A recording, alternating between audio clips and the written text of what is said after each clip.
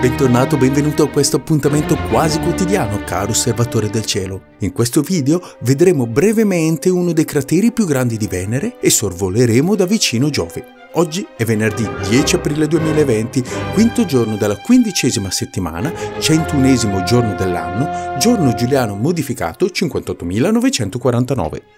Oggi il Sole passerà al meridiano alle 13.15 e tramonterà alle 19.53, dopo averci dato luce e calore per 13 ore e 15 minuti.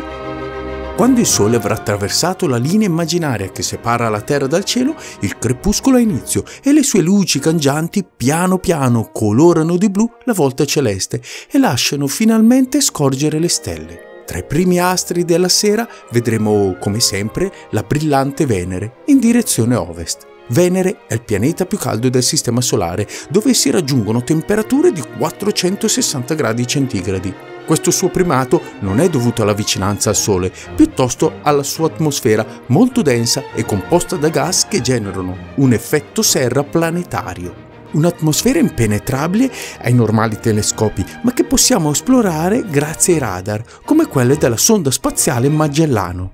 Eccone un esempio.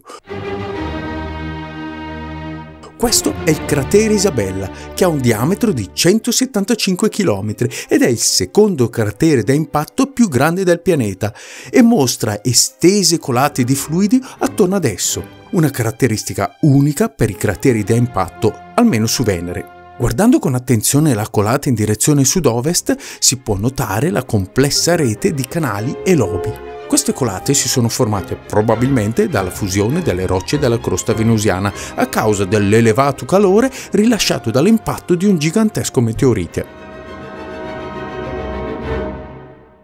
La notte astronomica comincerà alle 21.38.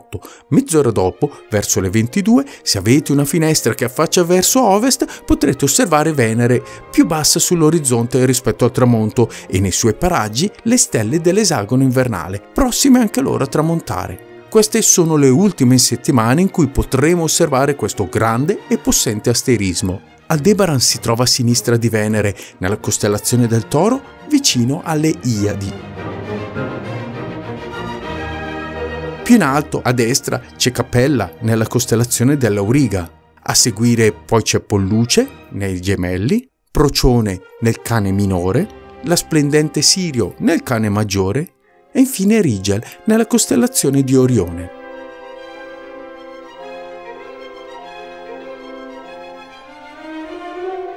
Stasera la Luna, nella fase gibbosa calante, sorgerà alle 23.05 minuti nella costellazione della Bilancia, al confine con quella dello Scorpione, e passerà al meridiano alle 4.02 minuti, illuminato all'87,4%, quando sarà già nella costellazione dello Scorpione. Domani la notte astronomica finirà alle 4.52 e come sempre tre quarti d'ora prima che il Sole sorga, se guardiamo in direzione sud-est, possiamo vedere Giove, Saturno e Marte. Visto da vicino Giove è un pianeta bellissimo, la sua struttura più appariscente è la grande macchia rossa, visibile anche da terra con un telescopio. Questa gigantesca tempesta turbina ininterrottamente nell'atmosfera del gigante da alcuni secoli. Ma non finisce qui perché l'alta atmosfera di Giove è ricoperta da nubi che si muovono seguendo correnti su scala planetaria, facilmente identificabili dalle bande di colore differente. Juno è il satellite che in questi anni sta studiando e che sta scattando immagini favolose di questo pianeta.